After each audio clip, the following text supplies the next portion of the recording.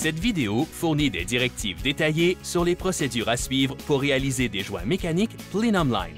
Pour informations techniques détaillées sur les systèmes de tuyauterie d'évacuation d'acide résiduaire IPEX, veuillez vous reporter au volume 3, Manuel technique sur les systèmes d'évacuation d'acide résiduaire IPEX, à votre disposition auprès de votre représentant IPEX ou en ligne à l'adresse ipexna.com dans notre bibliothèque technique.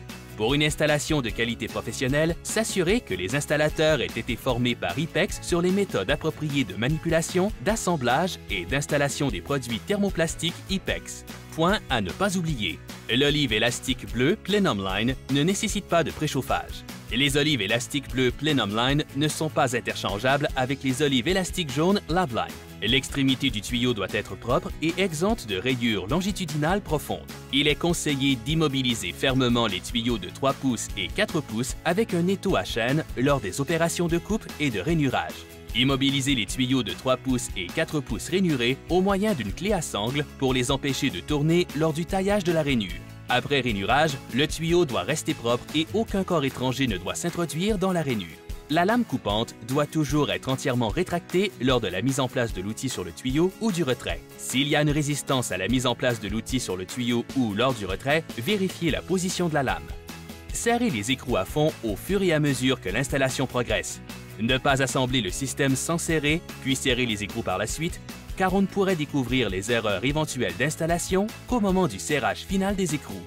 Évitez les défauts d'alignement. Vérifiez que la lame de l'outil de rainurage est bien aiguisée afin d'obtenir une rainure aux épaulements nets.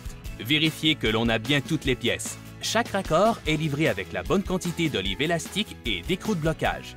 Vérifiez que l'outil de rainurage est bien aiguisé. Coupez le tuyau à la longueur voulue avec un coupe-tube muni d'un disque conçu pour de la matière plastique. On peut également utiliser une scie manuelle et une boîte à onglets. S'assurer que les extrémités des tuyaux ont été coupées d'équerre et correctement ébavurées. S'assurer que la lame coupante de l'outil à rainurer est entièrement rétractée. Insérer le tuyau dans l'outil à rainurer. Régler la position de la lame à rainurer à la moitié de la profondeur et faire tourner l'outil en sens inverse des aiguilles d'une montre. Après un tour complet, régler la position de la lame à la profondeur totale et faire tourner de nouveau l'outil d'un tour complet dans le sens des aiguilles d'une montre. Rétractez la lame entièrement et retirez l'outil du tuyau. Une rainure peu profonde apparaît autour du tuyau. Les outils de rainurage de 1 pouce et demi et de 2 pouces sont conçus pour une utilisation d'une seule main.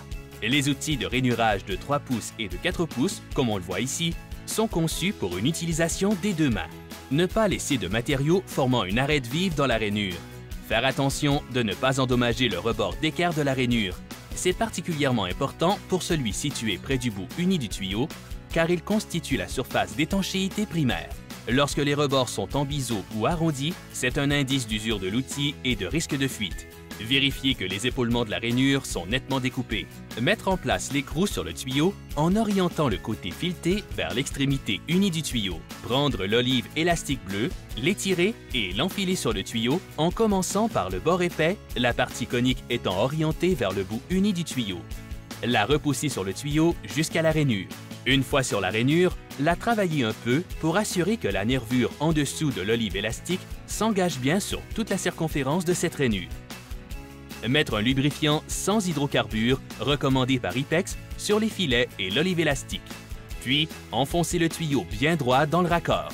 Le lubrifiant facilite le vissage des écrous et permet au tuyau muni de l'olive élastique de glisser en douceur à sa position d'étanchéité dans le raccord. Serrez l'écrou à la main, puis le serrer d'un quart à un demi-tour avec la clé tricoise. Répétez les procédures d'assemblage par joint mécanique pour le côté opposé du joint. Une fois terminé, le joint est prêt pour l'essai. Pour les procédures d'installation et d'essai, veuillez vous reporter au manuel technique industriel sur les systèmes d'évacuation d'acide résiduaire ou contacter IPEX directement.